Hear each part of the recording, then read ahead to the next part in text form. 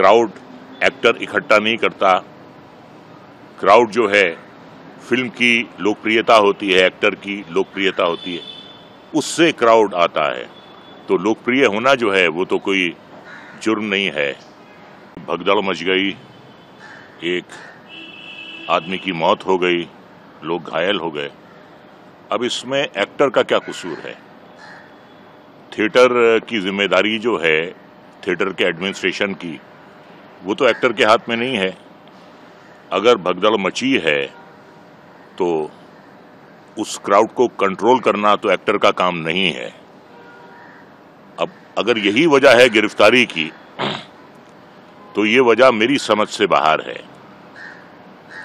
बहुत सी फ़िल्में हिट होती हैं बहुत क्राउड जमा होता है। कई बार पुलिस को माइल्ड लाठीचार्ज भी करना होता है।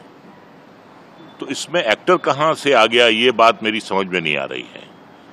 क्योंकि एक्टर का काम जो है वो कैमरा फेस करना है डायलॉग बोलना है।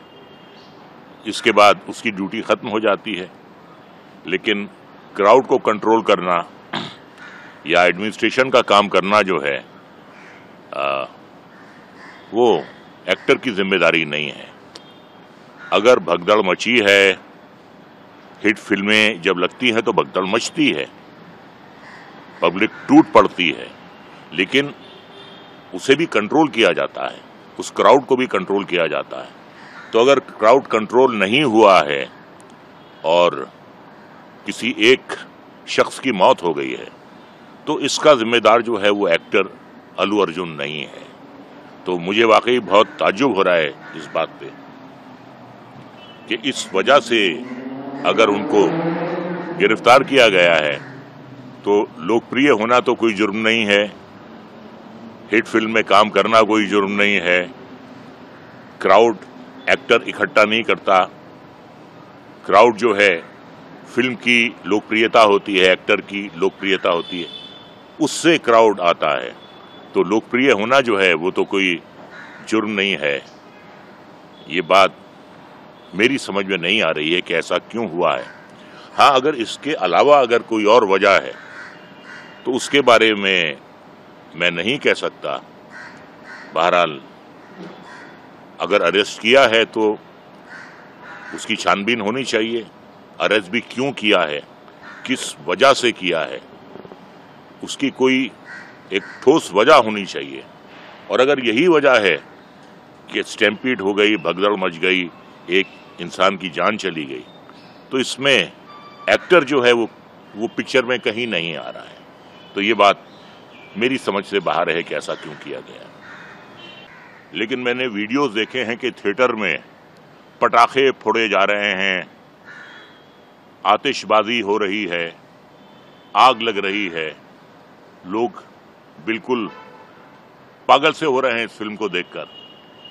पहली बात तो ये है कि जो थिएटर का एडमिनिस्ट्रेशन है, वो पटाखे कैसे अलाउ करता है थिएटर में?